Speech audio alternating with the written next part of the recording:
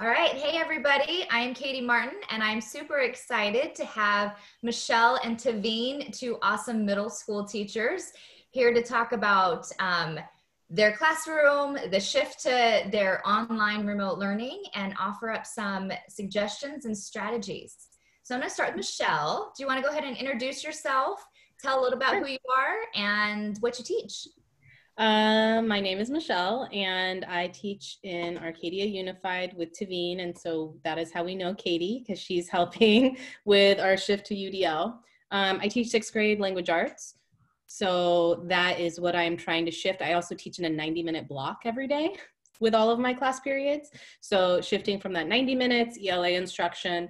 Um, I teach all of our subgroups as well, Title One, ELD, special education, collaboration push-in class, and one non-subgroup class. So that is what I've been transitioning for those kids. Awesome. Thank you. And Tveen, you want to introduce yourself? Yes, I'm Tveen. I also teach in Arcadia First Avenue Middle School. I teach middle school math, so grades sixth and seventh. I also have the subgroups for sixth grade, so I do have a push-in collaboration class that I also teach. Um, my classes are not 90 minute blocks. We have days where we're about 45 minutes, and then on Tuesdays and Thursdays, I teach for 35 minutes. This has been a huge shift for me, which we're, we're trying to make the best of. And I feel like this has been the, a good time to implement those UDL strategies that we've been working on throughout the course of the year, just to make learning accessible to everyone, especially our, our special learners who don't really like math very much. trying, trying, to give them choice and voice.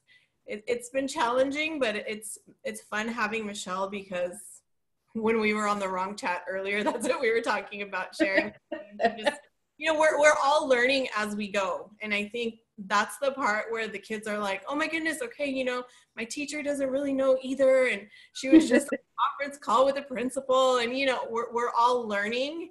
And i feel like that's that's what we're getting from this is working yeah. together and i think that's what i love about the two of you is you've really jumped in and supported each other so yeah. I know I told you I was going to ask a different question, but I'd love for you to talk about uh, how you've collaborated with each other and the rest of your staff to help each other make this shift to your online learning.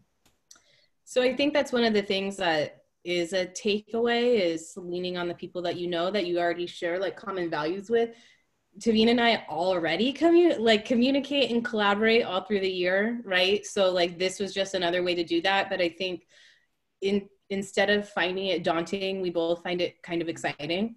And so even just connecting with those people that you know who will find it exciting is important for you because obviously like this is we're now looking at the long game, not the short game in terms of how we're going to do distance learning. So knowing who those people are who can support you and who can, you can bounce ideas off of which is the other thing i think one of the reasons tveen and i are like such good friends and good colleagues is because you know in in situations like this you do have to put teacher ego aside and say my idea isn't the best idea what are this is my ideas how can we like collaborate to make it better? And i think she and i have always had that relationship.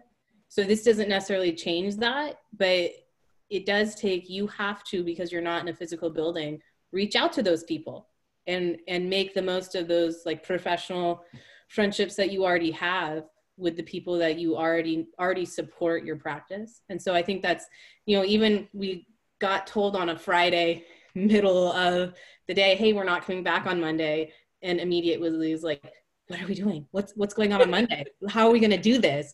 And even just like on Saturday, I think I'm going to do this, and then I'm going to do this, and it and building off each other, I think is super important for kids and for us. Yeah.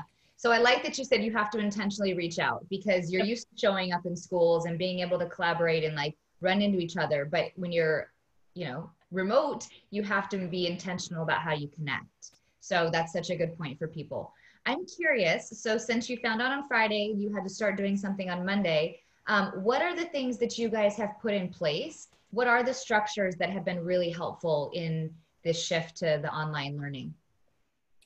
Well, for me, teaching math, especially to sixth graders, because again, I try to change their mindset about math and just teach differently. Where you know the kids are not because they all come in and they say well i hate math. I'm like okay well we're going to change that. Um, the altitude learning platform has actually really helped keep the kids organized. I of course after collaborating with michelle and putting myself in this vulnerable situation where i'm like okay what am i going to do?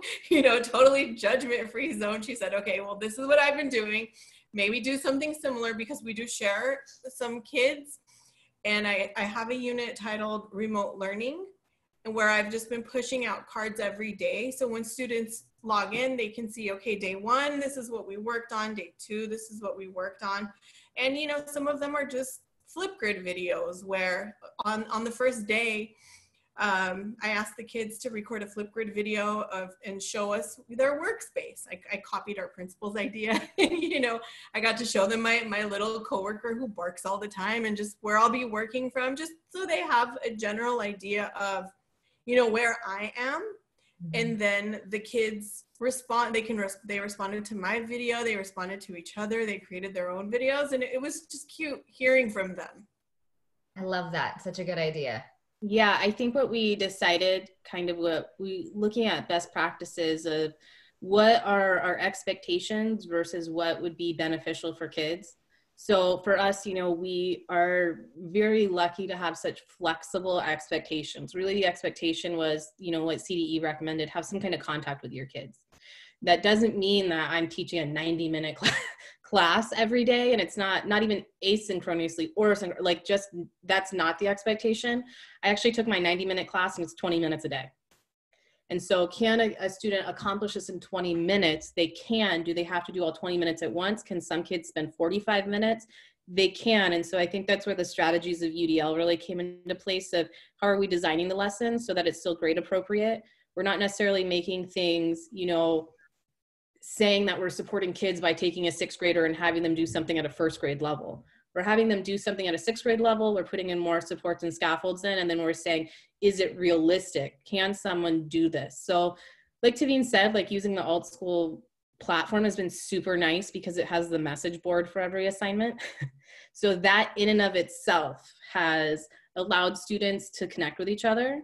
But we made a schedule of, you know, three academic assignments a week that 20 to 25 minutes. And then two days where we are just meeting with kids over a google meet or if you know you're using zoom. And it's literally just social. Sign up for your time on a google doc. I know who's coming to the meetings.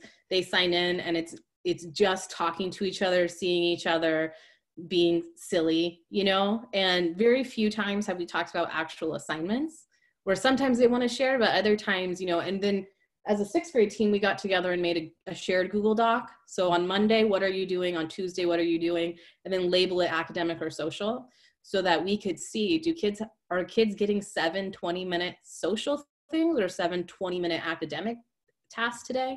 So we could kind of space it out between ourselves too and not have overlapping, you know, too much overlapping academic tasks and too many overlapping social tasks. So then they couldn't participate in all of them. Yeah, so you guys are definitely focusing on connection. I love that. Middle school kids, especially. I just think my own kids, they love, like, do I have a Zoom call with my class today? They look forward to just that connection and seeing something different than their house and family. So that connection is super important. And I love how you said, Michelle, like, you know, there are times for academic, but there are times that we're just coming together to connect and make sure that we're, you know, seeing each other. Um, but I also heard the collaboration across the team. So it's good that you guys can plan together but making sure across the team that you're aligning the resources and the work that kids are doing so it doesn't feel off balance. Um, can you share a little bit more about how you guys have approached that and how, do, how did you decide as a team how you were going to work together? I think as a team, we're really taking into consideration that we, you know, we have students who have several siblings, everyone's connected to Wi Fi maybe they don't have access to Wi-Fi at the time, or we also have several families who they're first responders. So we're not exactly sure the situation that the children are in. So we want to be as understanding as possible. And I think our, our team, we, I think, because I'm on the sixth grade and the seventh grade team, the sixth grade team, we were very first with planning, executing a plan, Um, we have the Google Doc that we share where we make sure that we are not assigning you know 20 30 40 50 minutes worth of work every single day because it's i mean this is emergency remote learning. You know we're not we're not online teaching. That's not what the kids signed up for. And we just want to make sure that we are giving kids the equitable time needed to do all the tasks and where they're not being overwhelmed. They don't feel like you know oh my goodness i have to do this for this class and this for this class and that for that class. Yeah i mean just managing yourself away from the school is a task in and of itself. Mm-hmm. um so and i you know you said this Tveen that this is emergency remote learning. A lot of people have been you know highlighting that that this is not something we've planned for. We are in the midst of a crisis in many mm-hmm. cases people are in different situations. And so um, really being able to understand the various places that people are at teachers and students is is really important. I'm wondering um, as since you guys have been doing this for a couple weeks now you're almost pros what are some things that you're learning about? What translates from face to face that you're still able to do in this context? And what are some things that you've learned like we can't do that because you know this lesson or the way i've structured it face to face does not work in this environment? I think um, for myself, I don't, I haven't taken a single lesson and transferred it over. Everything has been modified. So I don't know necessarily if it would or would not have worked. I think we're trying to be proactive in what we're giving kids. Um, just because, like what Tveen said, taking into consideration the time component, what's going on at home, all of those other, you know, outside things that we can't control. So I haven't actually taken anything that I've done and just pushed it out how it has normally been done. Um, most of what I have seen that does work though is on tasks where whatever your online platform is, where there's some opportunity for kids to interface with mm-hmm. each other, not necessarily you. I, which I was already using this, and Tveen was using this too during the school year as well. It's like the message board, you know, application on Altitude Learning, on you know, Google Classroom, Tveen can speak better to that because she does use that for one of her classes. The idea that kids can comment to each other. Even on one of my cards, I said, find a partner.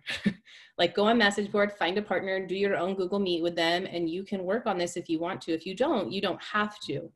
Um, but utilizing each other, I think, is something that's super, super, you know, beneficial to kids because that collaborative process, which is 90, 90% of my class is collaboration in the school year. So that is the one thing I was like, how am I going to do this and this collaborative piece? And that's actually, they kind of figured that out on their own, just using message board, which is great.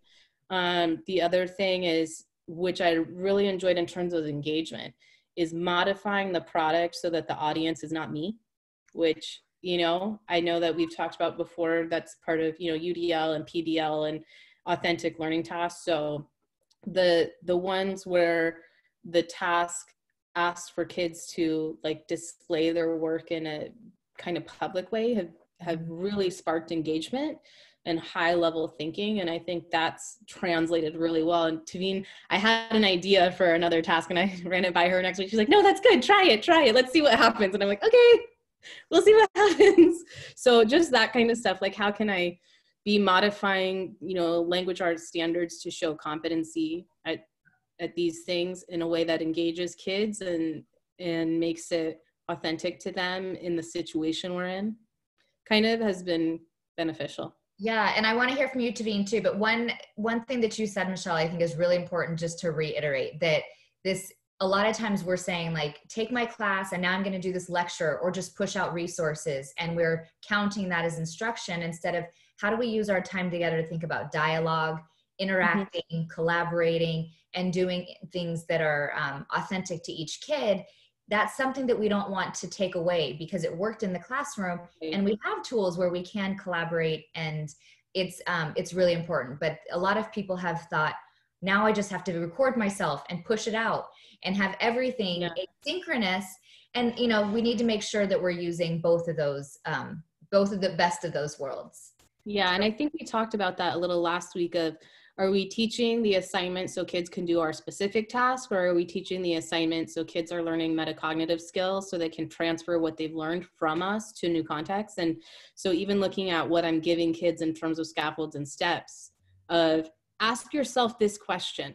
I don't care what what you use but this is the thinking process which we work on during the school year but now it's really being put into practice of how would you approach this? What do you think you should do first? Here's the article. Here's the you know the task and here's the final product and what are the things you need to do in order to accomplish it? And so even just kind of making that shift too of don't complete my task know the process of completing this task and then work through that at whatever pace is necessary because we do have the time now. We do we do have that you know personalized pacing for kids at this point and that's that works and is fine too yeah so we have just a couple minutes left and i'd love to be to go to you and what are some just key takeaways that you could offer to teachers if they're thinking about how to shift their practices especially a lot of people in math are thinking you know how do I do this? How do I keep my kids engaged? How do I teach them the concepts? What tips do you have um, to share? I feel like as a math teacher before this, um, my goal was, oh my goodness, I'm so behind. Kids are going to test in May. The kids would come in. It's like, okay, guys, we don't have any time. Um, and now that we don't really have to worry about that, my main focus is making sure that whatever I'm assigning has a clear rationale and the students are going to be able to apply that knowledge. Um, if it doesn't, if it's, you know, if I can't clarify why I'm assigning it, I'm like, okay, we're, we're not doing this.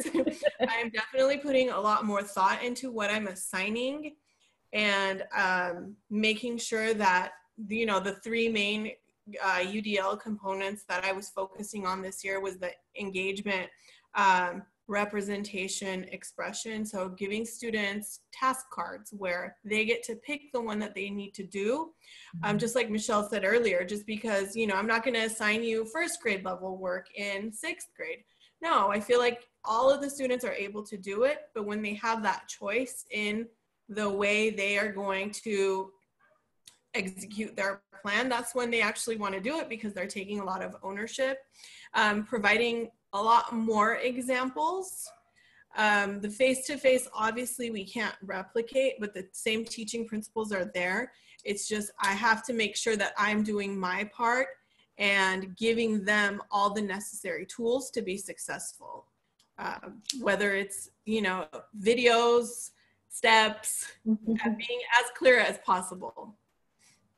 Awesome. Well, I think you guys are amazing. I love your energy. I love how you collaborate and are willing to be learners. And because of that, it's been really great to hear your tips. I think key takeaways that I am really getting from this is, of course, the collaboration with the kids, making sure that there's connection and they have um, a place to just be silly and to learn the collaboration with the team so that you're providing the right amount of tasks and support and then I just really heard you guys focusing on why. Why are we doing this? Um, do they have the right resources and do they have voice and choice? And can they do it and produce something that is authentic? Um, and Tveen, your words are going to haunt me too, right? Like, why can't we do this all the time? If we think about the test, like, imagine if we had this focus all the time. And my hope is that as we go through and learn from this challenge that we can come out the other side and get back into our schools and say you know what? We are going to prioritize these things. We it worked when we were remote. Now we can do it even better when we're together in classes. So thank you guys so much for taking the time out of your spring break um, to share some ideas. I hope you get to relax and uh, look forward to connecting in the next couple weeks. Thank, thank you. you. Bye. Bye Ooh.